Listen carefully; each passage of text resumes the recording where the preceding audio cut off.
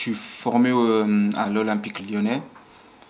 Euh, avant, je, jouais au Racing Club euh, du Luxembourg. Et puis, euh, j'ai passé toute ma formation à l'OL et j'ai joué un match. Puis l'année dernière, je suis allé à Bourg-en-Bresse en prêt.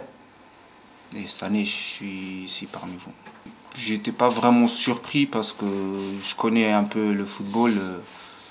Le Lyon, il voulait se renforcer et moi, j'étais prêt à toute possibilité.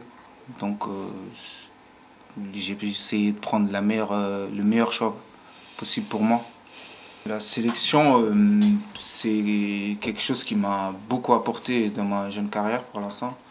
Ça m'a permis de m'exprimer, notamment le coach, il, a, beaucoup regardé mes matchs de sélection. Et euh, ouais, ça me permet de gagner de l'expérience, de l'apporter ici et ouais, de m'exprimer sur le terrain.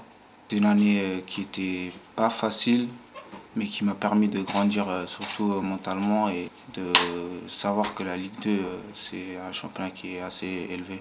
Je pense que le meilleur pour moi pour avoir du temps de jeu, c'était de venir ici et de m'exprimer sur le terrain.